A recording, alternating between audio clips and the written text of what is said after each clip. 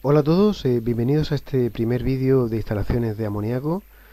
Eh, vamos a describir este tipo de instalaciones y vamos a hacerla en este conjunto de vídeos que van a formar nuestro pequeño curso sobre amoníaco, el, R717.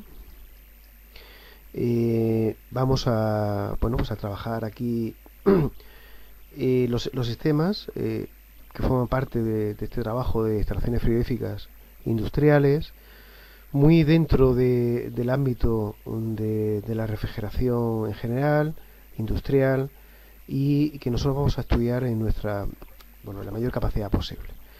Eh, lo vamos a hacer eh, tanto de una manera esquemática, eh, a lo largo de, estos vídeos, como de una manera de cálculo, es decir, nos alejaremos un poco de los esquemas entraremos en, en, cálculos, cálculo tanto de tuberías como de selección de componentes, selección de valvulería, eh, y después, evidentemente, eh, ya por, en conjunto, eh, se hará el entrelazado de todos los de todo tipo de componentes y sistemas para, para un mayor entendimiento de, de bueno pues de este tipo de trabajos con un acento especial, eh, así de una manera tildada en el mantenimiento, en algunos detalles de mantenimiento, en algunos detalles de sobre aceites y, química un poquito a, grosso modo, pero eh, sobre todo en cómo organizar un sistema de una instalación de amoníaco con algunas vertientes, con unas variantes y los cálculos de selección más, más adecuados. Eh, aquí como estamos viendo, como estamos viendo, tenemos un esquema base el cual tenemos que agradecer a la empresa Danfoss, que ha sido la que nos ha cedido eh, todos los esquemas para poder trabajar en este tipo de vídeos.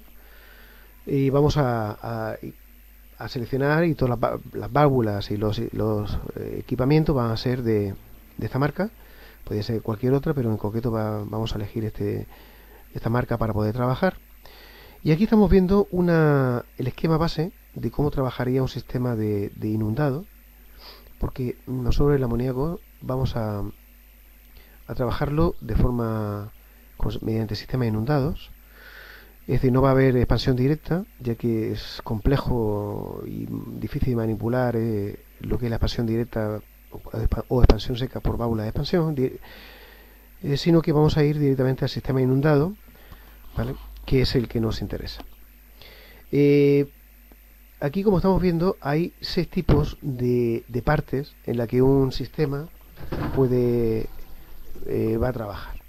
Por un lado tenemos el sistema de compresor. Aquí tenemos el compresor. El eh, que diremos entonces el compresor eh, lo vamos a estudiar de una manera particular. Igual que el apartado 2 como aquí vemos el sistema de separación de aceite muy directamente implicado con el condensador y con el compresor, bueno, pues este sistema, toda esta parte, pues va a ser un bloque de trabajo, un segundo bloque de trabajo, ¿de acuerdo? Que iremos analizándolo en su poco a poco.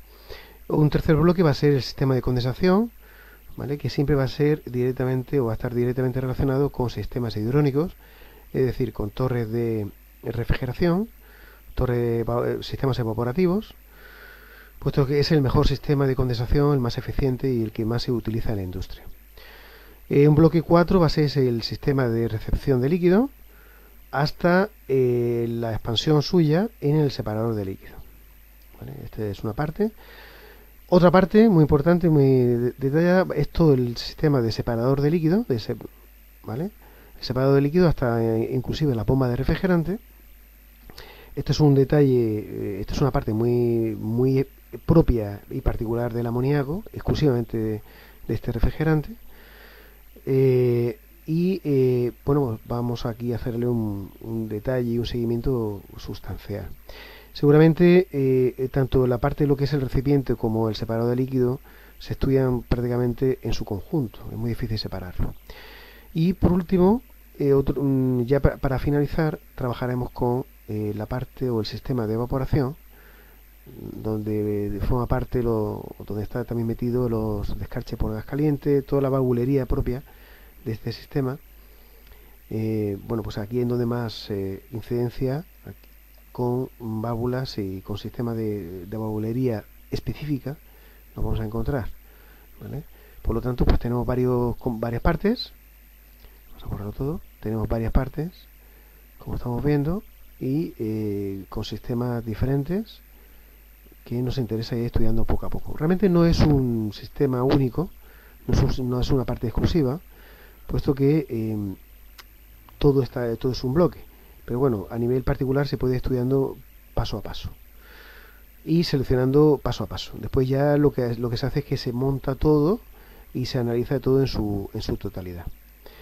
Este es el sistema propio del amoníaco eh, inundado. ¿vale? Ya mm, en los siguientes vídeos vamos a ir viendo las particularidades.